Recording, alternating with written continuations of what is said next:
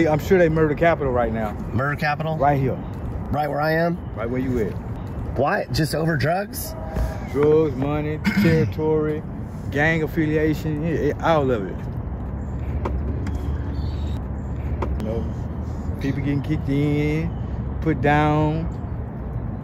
We go on and on. Yeah. And it's just gonna get worse. It's only gonna get worse. I knew I'd picked a bad Houston hood, but damn, I didn't know it was that bad. I just got to the third ward, which everyone in Houston says is the worst part of the city.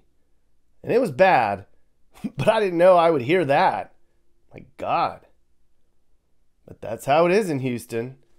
A lot of it is rough, and a lot of it is ghetto. I came to Houston in the fall of 2023 as part of a big Texas road trip. Along the way, I saw some pretty bleak stuff. A lot of San Antonio was a big mess. I saw some rural poverty that saddened me. But it was in Houston that I saw the worst of it while in this state. I spent an entire day driving around Houston's worst areas. I saw a lot of poverty and run-down areas, and apparently drove into hoods I shouldn't have been in. But this was the last major city in America that I hadn't got deep into yet. And boy, was it crazy.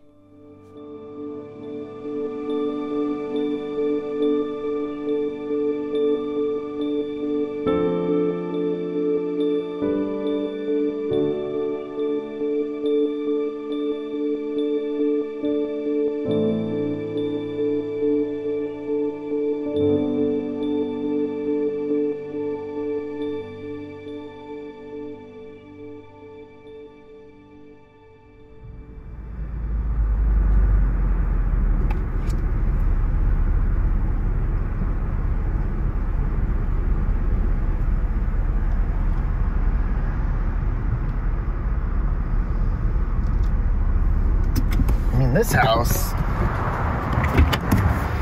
you could still smell smoke.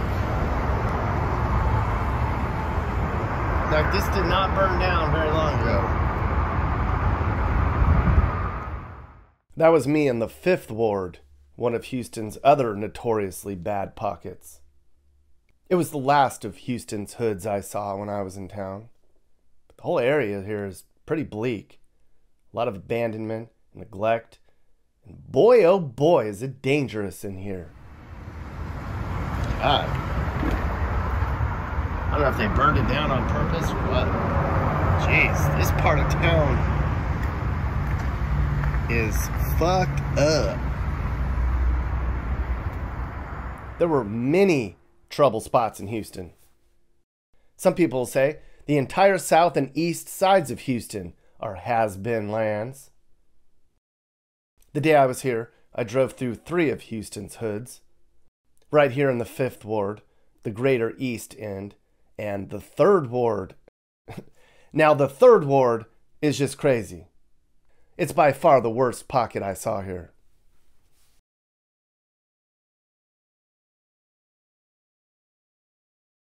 The Third Ward isn't very big. I covered a lot of it in about an hour or so.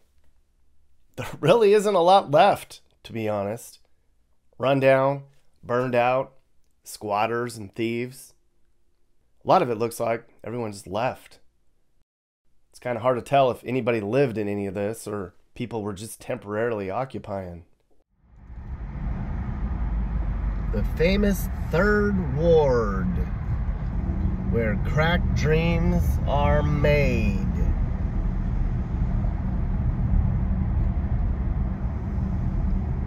Coming in here in the morning, it's about 7.15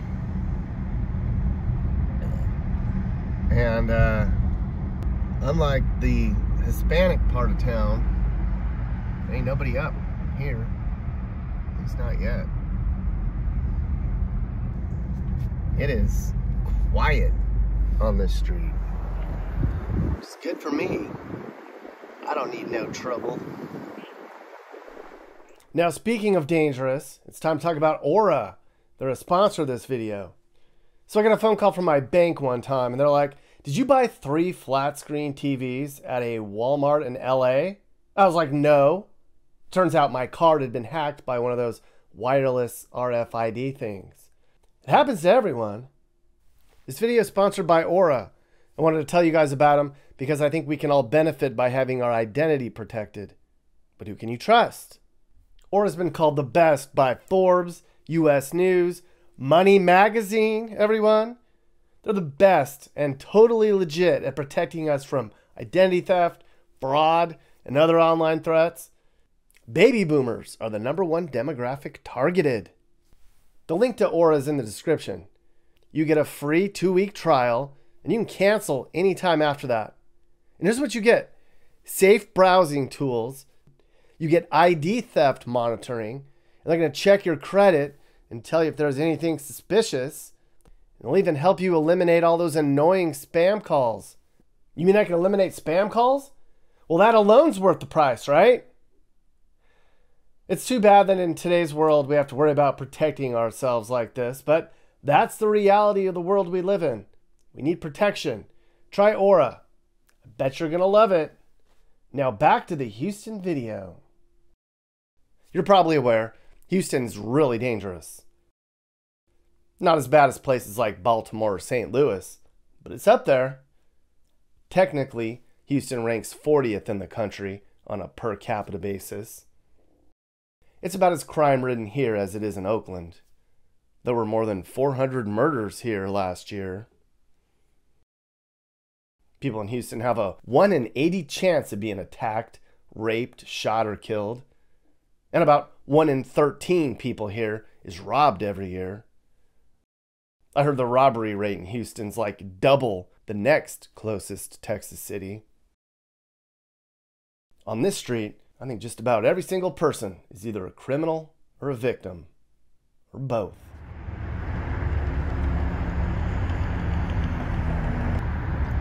Some school that's abandoned.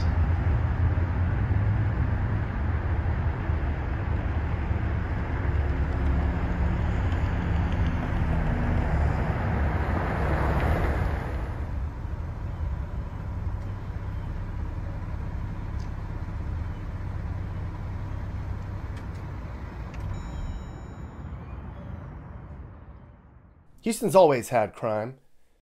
The 80s and 90s were bad everywhere in the country for gun violence. Houston was no different.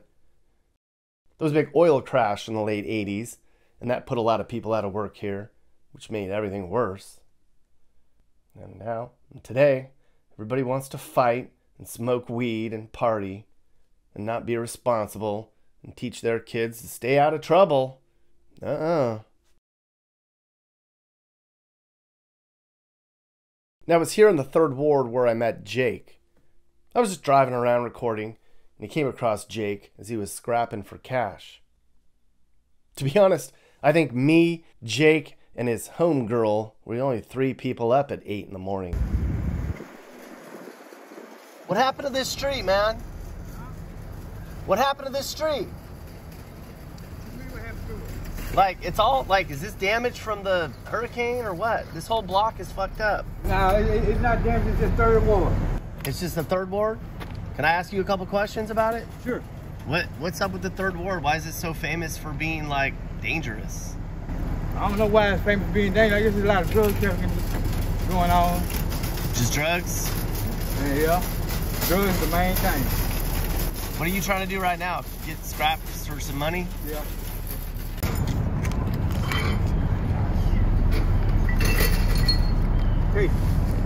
Cool. What's your name? My name Jake. Jake? Mm-hmm. I'm Nick. Nice to meet you. So how long has it been like this in the third ward? It's been like this for years. It's, just bad in here. Yeah? Why is it so bad? Drugs. Uh, everybody seems like they showing the next generation the same thing. It's just getting worse and worse. I don't see it improving since I got out of school. Look like it's getting worse and worse, and I, it's gonna get worse than it. But you from here? Yes, sir. What do they gotta do to fix this shit? Uh, get rid of a lot of drug traffickers out of here. I think that's what they need to do. put more things out here for the kids to do besides just putting a park.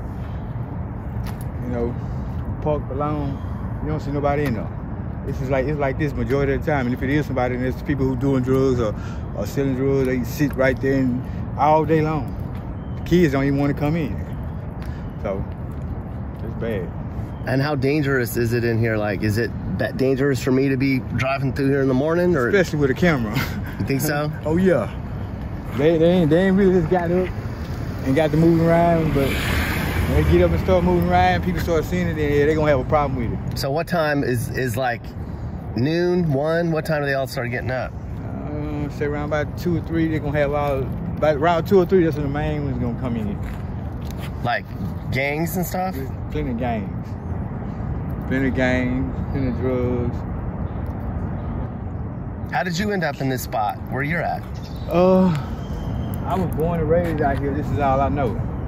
You know, trying to survive. I I, I didn't got had numerous jobs, did different things. Just the drugs. The drugs done controlled my life. It done took over. I want to get some help. It's like I, it's like I don't know what steps to take to it. What kind of drugs? Cocaine, crack, whatever. Yeah, and it's hard getting off that shit. It's very hard. So that's a I can take back that day I did try that that first time. I swear I would take it back. Yeah. This is not it. This is it control your life. I see why they call it a controlled substance now. That is bad. Is this like one of the worst neighborhoods in Houston? Yeah, I would say so. I would say this is the worst neighborhood in Houston.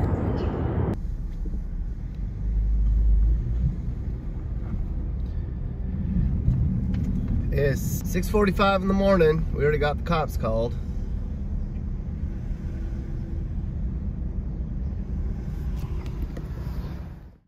All these people are broke, and the bennies are low. Texas ranks towards the bottom in how much welfare money they hand out. You can make a case that's a good thing. Make people work. They'll stay out of trouble and learn some responsibility. Or you could say welfare payments help reduce crime because, well, people have more money. But as it stands right now, the poverty rate's at 14%, and that's higher than the US average. Houston's actually the only big city in the country that saw its poverty rate go up after COVID. 83% of kids in this neighborhood live in poverty. That's right, 83%. Times are tough. Rental assistance is ending. COVID money and child care assistance ended. Rent's going up everywhere. There's a housing shortage.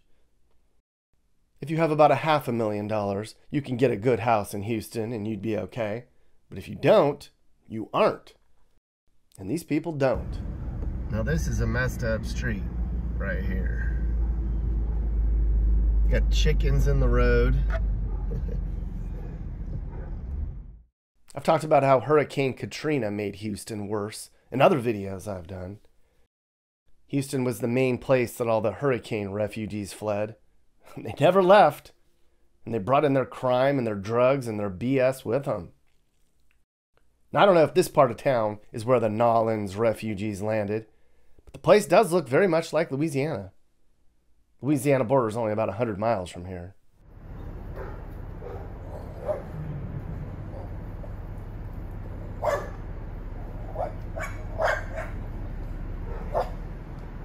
This is a really effed up part of town. I ain't gonna lie. I've seen worse. It's all messed up.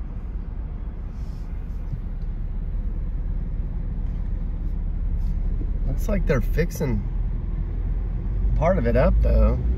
Like, there's a new building.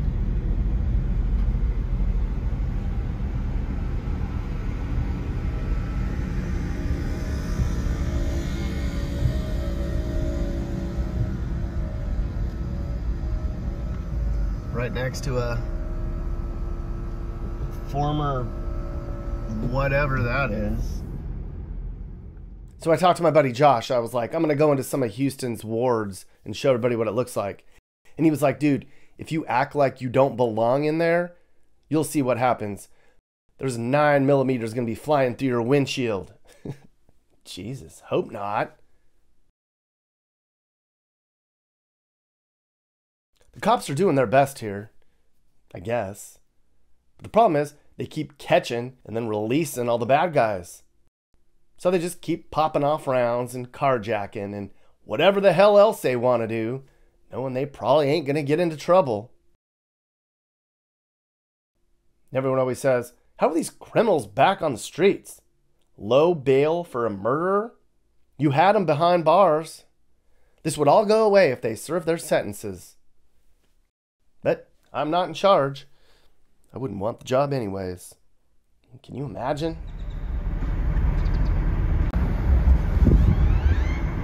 Here's another whole entire block. It's basically gone.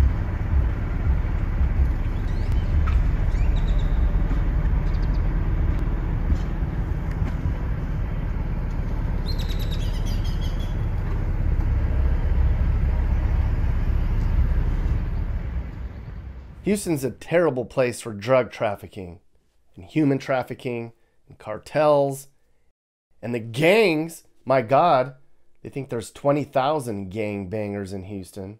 There's probably a lot more. There's a gang here called Tango Blast. Sounds like the name of an energy drink. I wouldn't say that to their face, though.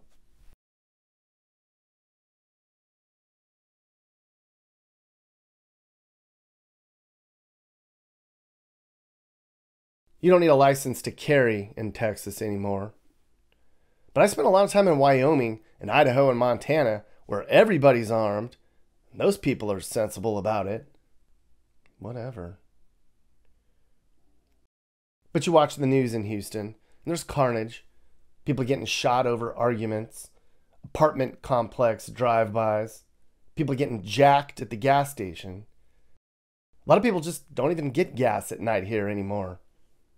Sucks. One guy didn't get his fries at a Houston Jack in the Box, and he complained. He was like, Where's my fries? And the chick at the drive through window was like, What?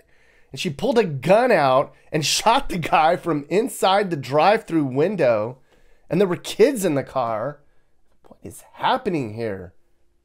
Sounds like lawless Oakland. Guns are for protection.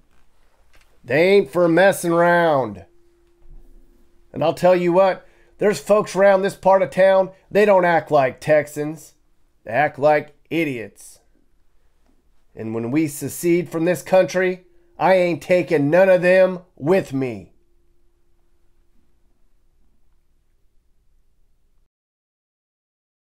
Then I left the third ward and I went to the fifth ward. It's on the north end of town. And on the way, I went past the biggest little homeless camp I saw when I was here. It wasn't that bad. But homelessness is a real thing in Houston. Nothing like in California. I mean, you don't see giant camps and stuff.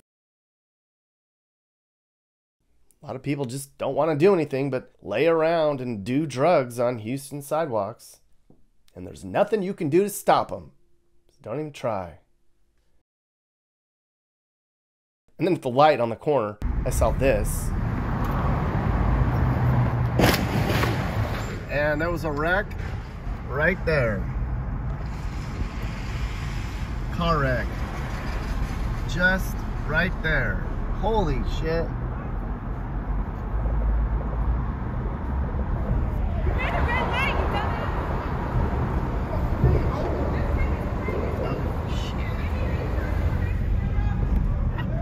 Damn, what is happening?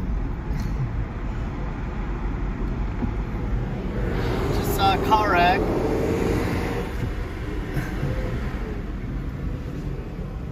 She said, You ran a red light, you dumbass. Oh, I had to get out of there. Just way too much drama going on in Houston this morning. I'm telling you, Texans are decent folks, and they're pretty friendly, but they are terrible drivers. Terrible, terrible, terrible. So the Greater Fifth Ward, last big giant ghetto I don't think I've ever been to.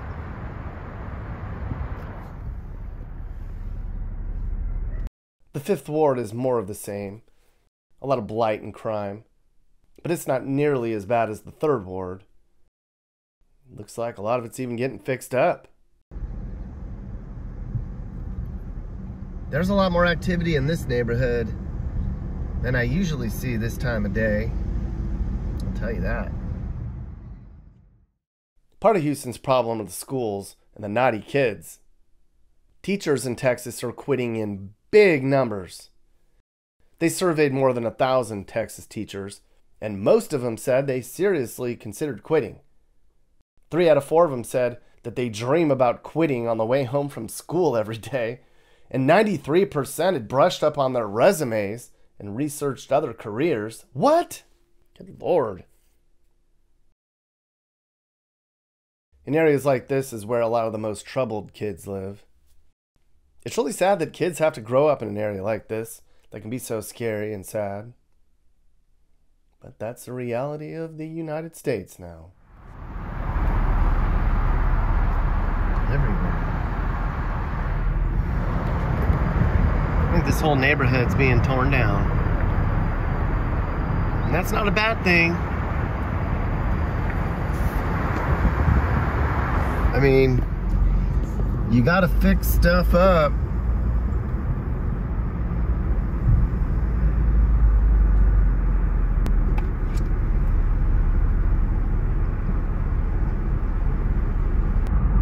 A lot of this is just straight up trashed.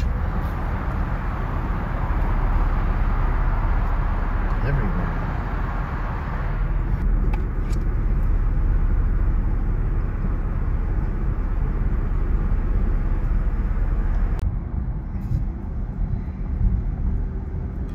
They're really fixing this part of the fifth ward up. I mean, they're literally ripping down a lot of the old stuff.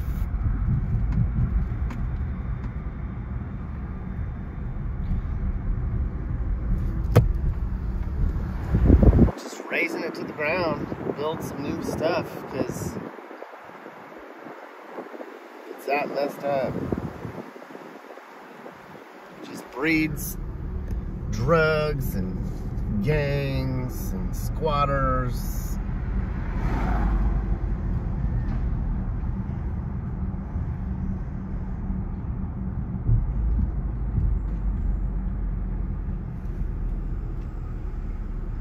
Like all over you see construction.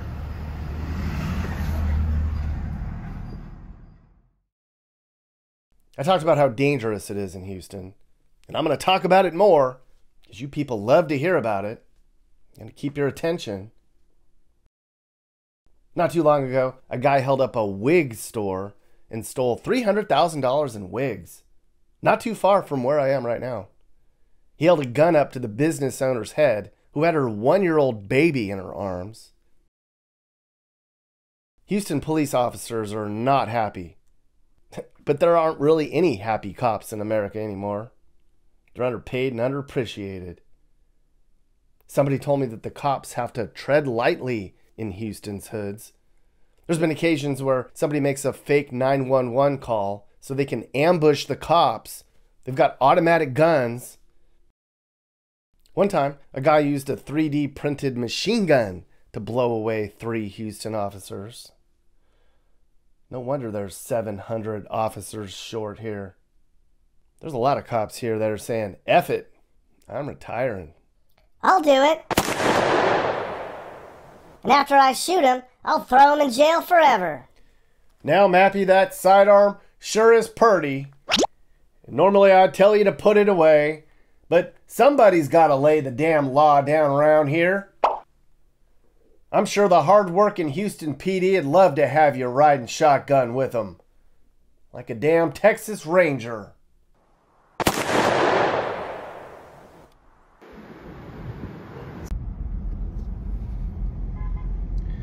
I seem to be in the Mexican ghetto. It's pretty Mexican.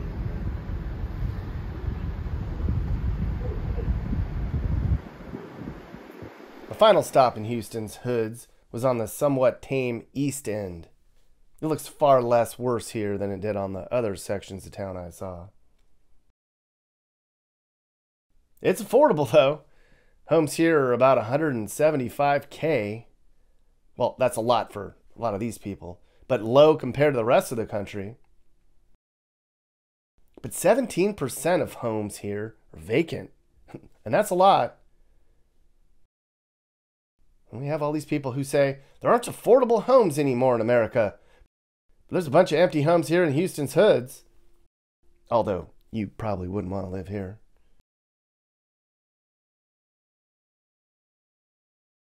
Somebody told me once if it wasn't for the energy industry, Houston would be an armpit like Philly. That's kind of mean. I heard at the Walmart in this neighborhood, there's people selling food stamps outside. What?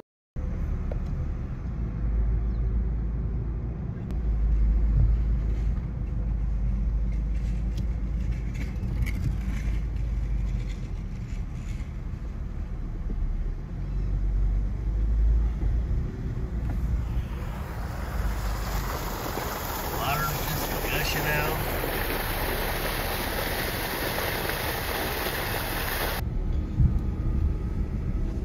Well, that's the fifth ward for you.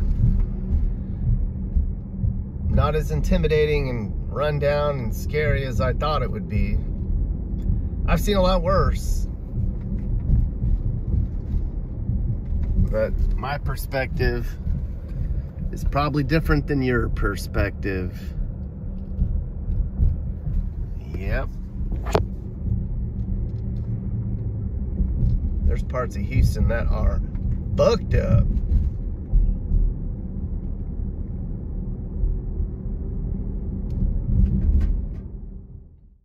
There's no denying Houston's in a bad place. There's a lot of people here who just don't care. They don't care to get a job. They don't care about shit. And they'll do anything in broad daylight. They'll rob anything and anyone. They're desperate out here, and they don't value human life. And that is something that we need to fix. But how? I don't think these people even listen to any reason. I'm scared to even see what it'll be like when my kids here 15, 20 years from now. I'm scared. I can't even imagine. It's so hard. It's like, what is it gonna be like then? Everybody got guns. Don't nobody fight no more. Crazy. You mean they don't fight with fists, they fight with guns? No, it's, it's gunplay now. Like it back in the Western days. Yeah. And how kids are just getting guns just anywhere, it's easy. It's, it's real easy. So they grow up. I done seen some of these kids out here with some Grand Theft Auto guns. And it tripped me out. What's a Grand Theft Auto gun? Like From the game? M16, the video game, the kind of guns they got on them, and Call of Duty, the kind of guns they got them out here now. Like, like flooded out here like this now. It's like Why? Where do they get those? suppressors and I don't know. I don't know where they're getting from, but they get, it's, it's plenty of it in here. and they're using it to control turf and like just be. territory, turf. Trying to put a name up for themselves. All kind of stuff, man. It's bad out here. I got shot in here for no reason. You got shot in here? In, in third for no reason. Twice. Where'd you get shot at? Right here in my shoulder and in my chest. For just walking around? Nah, guy was having some girlfriend issues, and he, me and him had words a lot, so he just figured he'd take it out on me. Told me it was a fight, and it wasn't a fight; it was a shoot. Yeah. I got shot, so I ended up coming right back in. So what do you? Yeah, man. I appreciate your time, dude. All right, cool, thanks. All right, man. I hope something changed. Me too. Right, you have a nice day, man. Later, man.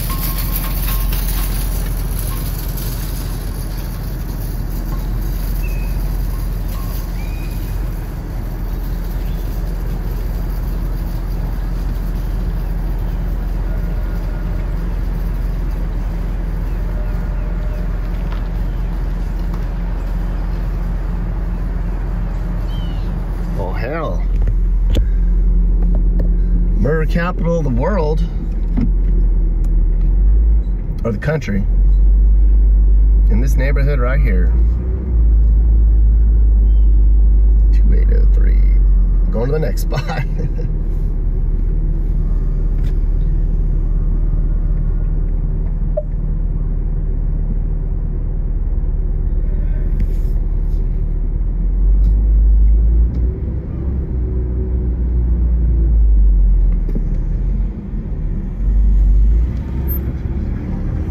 All right, he's trying to get me to come back down there, but I ain't going down there. he's like, hey, come here. I don't think so.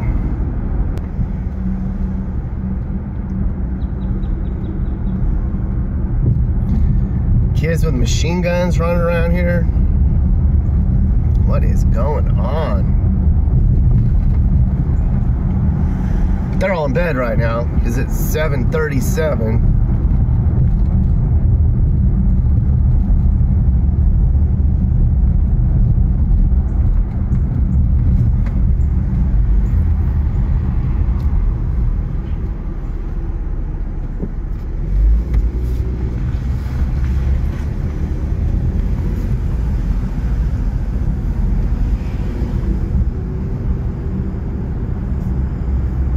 You looking to move and need advice? I do consulting. That's right. I'll sit down and talk about where the next perfect place for you and your family should be. I do it all the time.